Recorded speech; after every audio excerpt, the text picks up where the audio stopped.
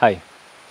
ഇന്ന് നമ്മൾ ഈ കാണുന്ന വീട് എറണാകുളം ഡിസ്ട്രിക്റ്റിലെ അങ്കമാലിക്കടുത്ത് മഞ്ഞപ്ര എന്ന് പറയുന്ന സ്ഥലത്ത് ഉള്ളൊരു റെനോവേഷൻ പ്രോജക്റ്റാണ് ഇത് ആക്ച്വലി എന്റെ വീടിന്റെ ഒരു നാല് വീട് പുറത്തുള്ള വീടാണ്. ഇത് ഈ വീട് കഴിഞ്ഞിട്ട് ഒരു നാലാമത്തെ അഞ്ചാമത്തെ വീടാണ് എന്റെ വീട്.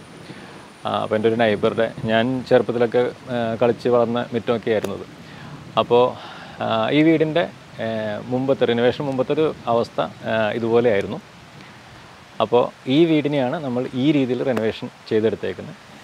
അപ്പോൾ അതിന്റെ ബാക്കി വിശേഷങ്ങൾ നമുക്ക് ഡീറ്റെയിൽ ആയിട്ട് കാണാം.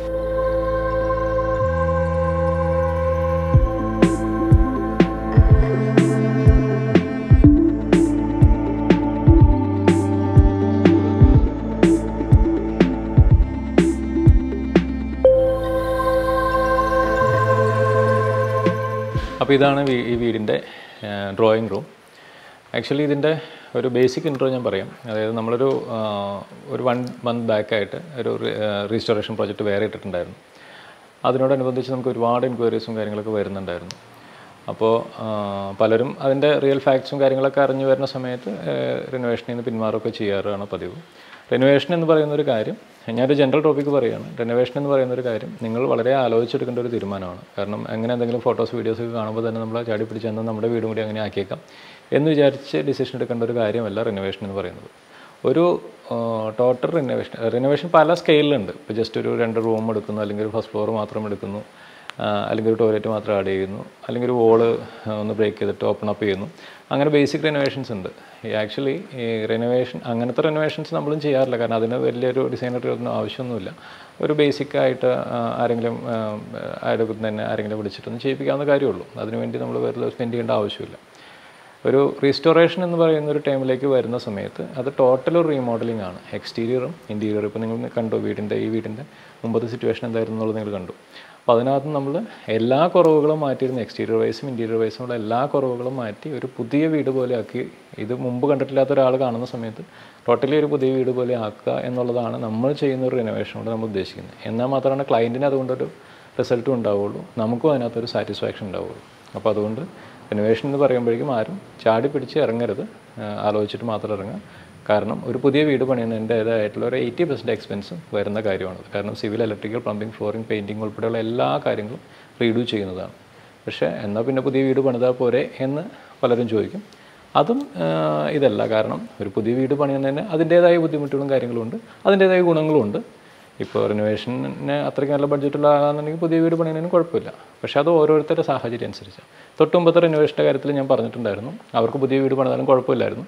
പക്ഷേ അവരിവിടെ താമസിക്കാൻ പോകുന്നില്ല. പ്രായമായ മാതാപിതാക്കൾ മാത്രമേ ഉണ്ടായിരുന്നുള്ളൂ. റിനോവേഷന്റെ ആവശ്യം ആ വീടിനുണ്ടായിരുന്നുള്ളൂ അതുപോലെ തന്നെ ഈ വീടിനും ഇവരുടെ റിക്വയർമെന്റ് അത് തന്നെയാണ്. ഒരു മിനിമൽ റീസ്റ്റോറേഷൻ മിനിമൽ റീസ്റ്റോറേഷൻ എന്ന് പറഞ്ഞു കഴിഞ്ഞാൽ മിനിമലിസ്റ്റിക് ആയിട്ടുള്ള റീസ്റ്റോറേഷൻ ഒന്നും ചെയ്യാൻ വേണ്ടി ചെയ്യേണ്ട ഇവിടുത്തെ എന്തൊക്കെയാണ് കുറവുകൾ? അത് നികത്തുക. എക്സ്റ്റീരിയർ ടോട്ടലി മേക്ക് ഓവർ ഇന്റീരിയറിലെ മെയിൻ ഉണ്ടായിരുന്ന പ്രശ്നം എന്ന് പറഞ്ഞാൽ ഇത് പണ്ടത്തെ നമ്മുടെ ടിപ്പിക്കൽ ആർച്ചൊക്കെ ആയിരുന്നു. മൂന്ന് സ്റ്റെപ്പൊക്കെ ആയിട്ടുള്ളൊരു ആർച്ചൊക്കെ ആയിരുന്നു ഈ ഓപ്പണിങ് ഇവിടെ ജസ്റ്റ് ഒരു ഒരു വിൻഡോ മാത്രമേ ഉണ്ടായിരുന്നുള്ളൂ. ഇത് സിറ്റ് ഔട്ടായിരുന്നു ആക്ച്വലി ഈ ഒരു ഏരിയ സിറ്റ് ഔട്ടും ഒക്കെ ആയിരുന്നു. അപ്പോൾ ഭയങ്കര കൺജസ്റ്റഡ് ആയിരുന്നു. വെളിച്ചം ഞാനിവിടെ നിന്ന് മെഷർമെന്റ് എടുക്കുന്ന സമയത്ത് ആക്ച്വലി ലൈറ്റ് ഇടാതെ മെഷർമെന്റ് ടേപ്പിലേക്ക് നോക്കാൻ പോലും പറ്റില്ലായിരുന്നു. അത്രയ്ക്ക് ഇരുട്ടായിരുന്നു. അപ്പോൾ നമ്മൾ ഇതിന്റെ ഇന്റീരിയറിൽ ചെയ്തൊരു കാര്യം എന്ന് പറഞ്ഞാൽ താഴെ ഈ ഒരു വിസിറ്റേഴ്സ് റൂം ഒരു സിറ്റ് ഔട്ട് ഒരു ഡൈനിങ്ങും എല്ലാം കൂടി ആയിട്ടുള്ള ഒരു ഏരിയ ആ ഏരിയയിൽ ഒട്ടും ലൈറ്റ് എന്ന് പറഞ്ഞൊരു കാര്യം വെന്റിലേഷൻ ഒന്നും ഉണ്ടായിരുന്നില്ല. പിന്നെ ഒരു സ്റ്റെയർ കേസ് ഉണ്ടായിരുന്നു. ടെറസിലേക്ക് കയറാനുള്ള ഒരു സ്റ്റെയർ കേസ് ഉണ്ടായിരുന്നു. പിന്നെ രണ്ട് ബെഡ്റൂം താഴെ രണ്ട് ചെറിയ ബെഡ്റൂം ഒരു ആവറേജ് സൈസും ഒരു ഏറ്റവും ചെറിയൊരു ബെഡ്റൂം പിന്നെ കിച്ചൺ ഇത്രയാണ് ഗ്രൗണ്ട് ഫ്ലോറിൽ ഉണ്ടായിരുന്നത്. അപ്പോൾ അതിനെയാണ് ഇപ്പോൾ നമ്മൾ തൗസൻഡ് സിക്സ് ഫിഫ്റ്റി സ്ക്വയർ ഫീറ്റുള്ള വീടിനെയാണ് three thousand three hundred square ഫീറ്റിലേക്ക് renovate ചെയ്തിട്ടുള്ളത്. കാരണം ഫസ്റ്റ് ഫ്ലോർ കംപ്ലീറ്റ്ലി നമ്മൾ പുതിയതെടുക്കുമായിരുന്നു ഒറ്റ നിലയുള്ള ഒരു സ്റ്റെയർ റൂമുള്ള ഒരു വീടായിരുന്നു അത്. അതിന് നമ്മൾ ടോട്ടലി റിനോവേറ്റ് ചെയ്തെടുക്കുമായിരുന്നു ഇപ്പോൾ പണ്ടത്തെ പോർച്ചിന്റെ സ്ഥാനത്താണ് ഇപ്പോൾ നമ്മൾ സിറ്റ് ഔട്ട് കൊടുത്തിട്ടുള്ളത്. പണ്ടത്തെ സിറ്റ് ഔട്ടാണ് നമ്മൾ ഡ്രോയിങ് റൂമിന്റെ എക്സ്റ്റൻഷനായിട്ട് ചെയ്തിട്ടുള്ളത്. ആ ഭാഗത്ത് റൂഫ് നമ്മൾ ഡബിൾ ഹൈറ്റ് ഏരിയ ആക്കി. അപ്പോൾ ഒരാൾക്ക് കയറുമ്പോൾ തന്നെ ആ പുതിയ വീടിന്റേതായ എല്ലാ എലമെൻസും അതിനകത്തുണ്ട്. അതുകൊണ്ട് തന്നെ ഒരു പുതിയ വീട് എന്നുള്ളതല്ലാതെ റെനോവേഷൻ ഒരിക്കലും ഫീൽ ചെയ്യില്ല. ഇവിടെയും മുമ്പത്തെ ആ പ്രോജക്റ്റിൽ പറഞ്ഞ പോലെ തന്നെ ഇവിടുത്തെ ഒരു ഹിസ്റ്ററി എന്ന് പറഞ്ഞു കഴിഞ്ഞാൽ ഇവർ ക്ലയന്റും ആളുടെ വൈഫും രണ്ട് പെമ്മക്കളാണുള്ളത് അപ്പോൾ അവർ രണ്ടുപേരും മാരേജ് ഒക്കെ കഴിഞ്ഞ് പോയി കഴിഞ്ഞാൽ അവരിവിടെ ഒന്നും താമസിക്കലൊന്നും അധികം ഉണ്ടാവില്ല. അപ്പോൾ ഇവർക്ക് അധികം അതിനകത്ത് ഇൻവെസ്റ്റ് ചെയ്യേണ്ട ആവശ്യമില്ല. പിന്നെ അത് മെയിന്റെയിൻ ചെയ്യേണ്ട ആവശ്യവും വരുന്നു. അപ്പോൾ അതൊന്നും അതൊക്കെ ഒഴിവാക്കാനായിട്ടൊരു മിനിമം റിനോവേഷൻ ചെയ്യാൻ വേണ്ടിയിട്ടൊന്നും ചെയ്യുന്നില്ല. ഇതിലും മിക്ക ഡിസൈൻസും ആക്ച്വലി ഞാനിവിടെ ഇടയ്ക്ക് വരുന്ന സമയത്ത് കൈകൊണ്ട് വരച്ചിട്ട് ഒക്കെ ചെയ്തിട്ടുള്ളതാണ്. അങ്ങനെ പ്രോപ്പർ ആയിട്ട് നമ്മൾ പ്ലാൻ ചെയ്ത് കുറേ സംഭവങ്ങൾ ചെയ്യണം എന്നുള്ള അങ്ങനെ ഒരു ഇത് ചെയ്തിട്ടൊന്നും അല്ല ചെയ്തേക്കുന്നത് അതാ ഞാൻ പറഞ്ഞു. എന്താണ് ഇവിടെ ഏറ്റവും മിനിമം വേണ്ടത്? അത് മാത്രമേ ചെയ്തിട്ടുള്ളൂ. അപ്പോൾ ഈ വീഡിയോന്റെ ബാക്കിയുള്ള കാണുമ്പോഴും നിങ്ങൾക്കൊരു ഓവർ എക്സ്പെക്റ്റേഷൻ വേണ്ട. കാരണം നമ്മളൊരു മിനിമൽ റീസ്റ്റോറേഷൻ ചെയ്യുന്ന സമയത്ത് എങ്ങനെയാവും എന്നുള്ളതാണ്. പക്ഷേ മിനിമൽ റീസ്റ്റോറേഷൻ എന്ന് പറഞ്ഞാൽ ഇത്രയുള്ള തൗസൻഡ് സിക്സ് ഹൺഡ്രഡ് സ്ക്വയർ ഫീറ്റുള്ള വീട് സിക്സ് ഫിഫ്റ്റി സ്ക്വയർ ഫീറ്റുള്ള വീട് three thousand three hundred square ഫീറ്റിലേക്ക് മാറുമ്പോൾ ഇൻക്ലൂഡിങ് ലാൻഡ്സ്കേപ്പും പാവിങ്ങും ഉൾപ്പെടെയുള്ള എല്ലാ കാര്യങ്ങളും നമ്മൾ റീവ് ചെയ്യുന്ന സമയത്ത് ഉണ്ടാവുന്ന സ്വാഭാവികമായിട്ട് ഉണ്ടാകുന്ന എക്സ്പെൻസ് ഈ വീടിനും വന്നിട്ടുണ്ട്. അപ്പോൾ അതാണ് അതിന്റെ ഒരു ബേസിക് സ്റ്റോറി അപ്പോൾ ഈ ഇവിടെ പണ്ടത്തെ ഷോക്ക് കേസും കാര്യങ്ങളൊക്കെ ആയിരുന്നു. അതൊക്കെ നമ്മൾ കളഞ്ഞു. ഇതിനെ നമ്മൾ സ്ട്രെയിറ്റ് ആക്കി എടുത്തിട്ട് ഇവിടുന്ന് അവിടേക്ക് ഒരു ഓപ്പണിങ്ങും ഒരു ആർക്കിറ്റേവ് ഒക്കെ കൊടുത്തു. ഇവിടെ നമ്മൾ വലിയ വിൻഡോ ആക്കി. അപ്പുറത്തെ ആ സിറ്റ് ഔട്ടിന്റെ ആ ഒരു ഏരിയയിൽ സെപ്പറേറ്റ് വേറെ വിൻഡോ കൊടുത്തു. പിന്നെ ഡൈനിങ് ഏരിയയിലേക്ക് നമുക്ക് ലിൻഡൽ ഹൈറ്റിന്റെ മുകളിലേക്കായിട്ട് വേറൊരു ഓപ്പണിംഗ് കൊടുത്ത് ഗ്ലാസ് ഒക്കെ ഇട്ടു. അപ്പോൾ ഡേ ടൈമിൽ ഇപ്പോൾ നല്ല ലൈറ്റ് ഉണ്ട് അവിടുന്ന്. ഇത്രയും ഡബിൾ ഹൈറ്റ് ഇതൊക്കെ ആകുമ്പോൾ ഇവിടെ നിന്നുള്ള ലൈറ്റ് നല്ല നല്ല രീതിയിൽ ചെയ്യുന്നുണ്ട്. കിച്ചൺ നമ്മൾ പ്രത്യേകിച്ചൊന്നും ചെയ്തില്ല. ആ സിറ്റീസ് തന്നെ കീപ്പ് ചെയ്യായിരുന്നു ജസ്റ്റ് പെയിന്റിങ്ങും റീപോളിഷിങ്ങും മാത്രമേ ചെയ്തിട്ടുള്ളൂ. അതുകൊണ്ട് നമുക്ക് കിച്ചൺ ഇതിനകത്ത് കാണിക്കുന്നില്ല നമ്മൾ പിന്നെ മുകളിലേക്ക് രണ്ട് ബെഡ്റൂംസ് നല്ല വിശാലമായിട്ടുള്ള രണ്ട് ബെഡ്റൂംസ് തന്നെ. വിത്ത് ഡ്രസ്സിങ് ഏരിയ ടോയ്ലറ്റുകളായിട്ട് വലിയ രണ്ട് ബെഡ്റൂംസ് എടുത്തു. ഒരു അപ്പർ ലിവിങ് ഏരിയ ഒരു ഊഞ്ഞാലൊക്കെ ആയിട്ട് ഒരു അപ്പർ ലിവിങ് ഏരിയ എടുത്തു. അങ്ങനെയാണ് ഈ വീടിന്റെ ടോട്ടൽ ഏരിയ അപ്പോൾ നമുക്ക് ഡീറ്റെയിൽ ആയിട്ട് വീഡിയോ കാണാം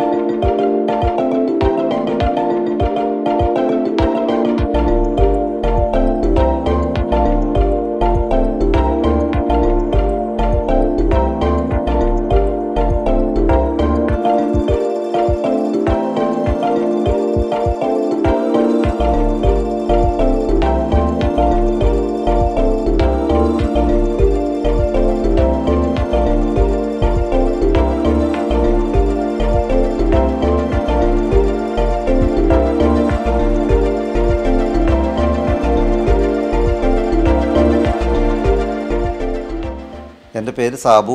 ഞാൻ വീടിന്റെ ഗ്രഹനാഥനാണ് ഞാൻ വീട് ഒന്ന് പുതുക്കി പണിയാനായിട്ട് തോന്നാൻ കാരണം എന്റെ റൂമുകൾക്കൊക്കെ അല്പം വെട്ടക്കുറവ് പോലെ തോന്നിയായിരുന്നു. കൂടാതെ റൂമുകൾക്ക് അല്പം സൗകര്യക്കുറവ് പോലെ അനുഭവപ്പെട്ടു. അതുകൊണ്ട് ഞാൻ ഷിൻഡോനെ ചെന്ന് കണ്ടു. വീടിന്റെ പണി ഇപ്പോൾ പൂർത്തീകരിച്ചു.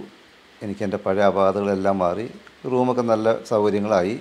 അത്യാവശ്യം നല്ല വെട്ടവും വിളിച്ചായി പുറത്തുനിന്ന് നോക്കിയാലും അകത്തുനിന്ന് നോക്കിയാലും ഒരു പുതിയ വീടിന്റെ നല്ലൊരു ഫീൽ അനുഭവപ്പെട്ടു. എന്നാൽ വലിയ പൈസ ചിലവില്ലാത്ത രീതിയിൽ ഞാൻ മനസ്സിൽ ഉദ്ദേശിച്ച പോലെ എനിക്ക് പൂർത്തീകരിക്കാനും പറ്റി. അതിൽ ഞാൻ വളരെ ഹാപ്പിയാണ്.